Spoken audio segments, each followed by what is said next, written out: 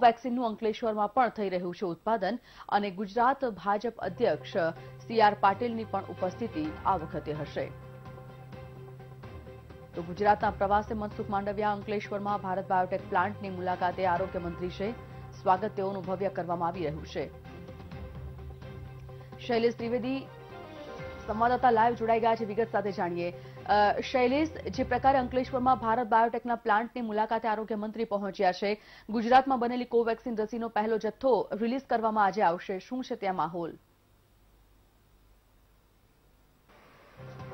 થોડીક ક્ષણો પહેલા જ હજી કેન્દ્રીય આરોગ્ય મંત્રી મનસુખભાઈ માંડવિયા અહીંયા અંકલેશ્વર પહોંચ્યા છે અને ભારત બાયોટેક દ્વારા જે કોવેક્સિનનો જથ્થો છે, એનું ઉત્પાદન અહીંયા થનાર છે.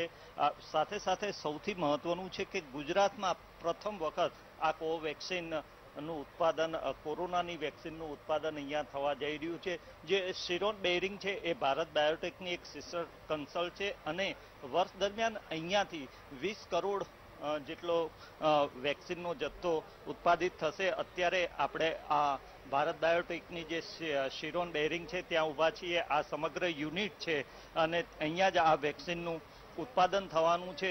સાથે સાથે જે રીતનું અહીંયા મનસુખભાઈ માંડવિયા આવ્યા છે, થોડીક ક્ષણોમાં તે મીડિયા સાથે વાત પણ કરશે. પરંતુ આ સૌથી મહત્વનું છે કે આ જે સાર્સ કોવિડ નાઇન્ટીન જે હતો, તેને જે વેક્સિનેશનનું કામ છે એ સૌથી મહત્વનું વેક્સિનનું ઉત્પાદન હવે ગુજરાતમાં થશે. અત્યાર સુધી એવું હતું કે રો મટીરિયલ વેક્સિન માટેનું ગુજરાતમાંથી સપ્લાય કરવા કરવામાં આવતું હતું. પરંતુ ભારત બાયોટેકે અત્યારે પોતાની જે સિસ્ટર કન્સર્ન છે સિરોન બેરિંગ એને સાથે મળીને આ અત્યારે વેક્સિનનું ઉત્પાદન શરૂ કર્યું છે.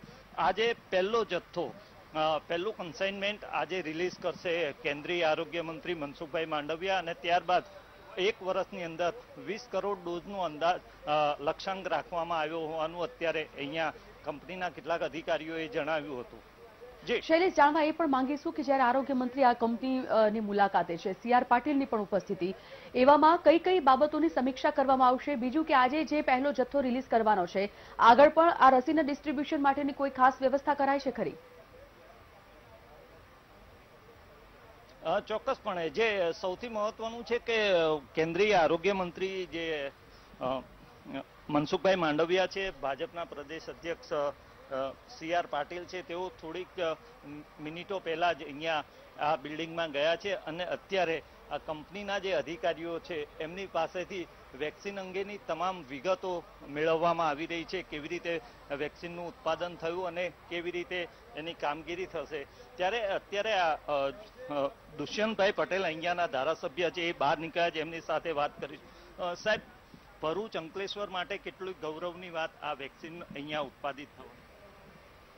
વિશ્વની મહામારી, એવી કોરોના મહામારીની જો વેક્સિન્સ ભરૂચ જિલ્લામાં બનતી હોય, એ આ ક્ષણ તો બહુ ગૌરવની વાત છે. અંકલેશ્વરમાં અને ભરૂચ જિલ્લામાં એમ કહેવાય તો તમામ પ્રકારની ફાર્માસ્યુટિકલ્સ કંપની અહીંયા સ્થાપિત થઈ છે. પણ કોવેક્સિન જે એની વેક્સિન છે, એ જો એ બને તો ખરેખર ભરૂચ માટે એક ભરૂચ નાગરિક તરીકે ખૂબ ગૌરવની વાત છે. કેટલોક કોઈ વિગત મળી છે? કેટલો જથ્થો અહીંયા ઉત્પાદિત થશે ને આખા દેશમાં અહીંયાથી જ વિતરિત થશે? નહીં, એવું નથી. હજુ તો કેટલી વેક્સિન્સ અહીંયા બનશે એ વિગતો હજુ મેળવવાની બાકી છે. પણ આપણા માટે ગૌરવની ક્ષણ છે કે આપણી કોવેક્સિન અહીંયા બનશે. તો આ હતા ભરૂચના ધારાસભ્ય દુષ્યંતભાઈ અને સ્પષ્ટ તેમણે કહ્યું કે ગુજરાત માટે, આપણા માટે સૌથી ગૌરવની ક્ષણ છે. સાથે સાથે સૌથી મહત્વનું છે કે એશિયાની સૌથી મોટી ફાર્માસ્યુટિકલ જીઆઈડીસી એટલે કે જે દવાને ઉત્પાદન થાય છે, એની ફેક્ટરીઓ આ અંકલેશ્વર જીઆઈડીસીમાં આવેલી છે અને એ સ્થળે હવે કોવેક્સિન અહીંયા ઉત્પાદિત થવા જઈ રહી છે. ત્યારે ચોક્કસપણે ગુજરાત માટે અને દક્ષિણ ગુજરાત માટે આ ચોક્કસ એક ગૌરવની ક્ષણ છે. હાલમાં ઉપર કેન્દ્રીય મંત્રીની કંપનીના અધિકારીઓ સાથે મિટિંગ ચાલી રહી છે. ત્યારબાદ થોડી વાર પછી કાર્યક્રમ શરૂ થશે અને વેક્સિનનો પહેલો જથ્થો પહેલું કન્સાઇનમેન્ટ રિલીઝ કરવામાં આવશે. ધન્યવાદ શૈલેષ. જાણકારી માટે